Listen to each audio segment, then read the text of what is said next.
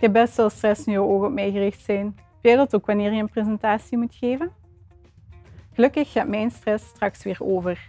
Maar sommige personen ervaren voortdurend stress, zoals kinderen met autisme. Door de problemen die zij ervaren in de omgang met andere personen, ervaren zij sociale interacties als beangstigend of zelfs als bedreigend. Maar wist je dat oxytocine wel eens de oplossing zou kunnen bieden? Maar laten we eerst eens kijken wat dat stress doet met ons lichaam. Evolutionair gezien is stress een reactie van ons lichaam op een bedreigende situatie, waardoor onze hartslag gaat verhogen en onze ademhaling gaat versnellen.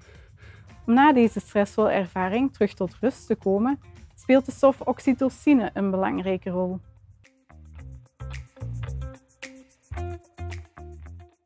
Je hebt misschien wel eens gehoord van oxytocine.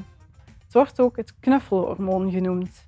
Het speelt namelijk een belangrijke rol in de hechting tussen een moeder en haar pasgeboren kind.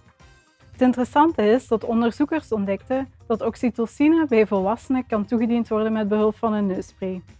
Wat is het effect? Wel, de stress verlaagde en bij volwassenen met autisme verbeterde de sociale vaardigheden, zoals het maken van oogcontact en het herkennen van emoties.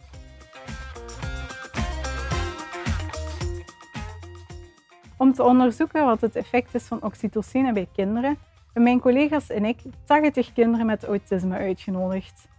Zij gebruiken gedurende vier weken een neusspray met of zonder oxytocine.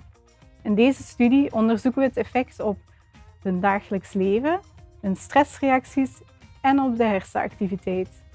Aan de hand van deze studie willen we onderzoeken of oxytocine een veilige en doeltreffende behandeling kan zijn voor kinderen met autisme. Want de oplossing voor hun stress zou wel eens in een pufje kunnen zitten.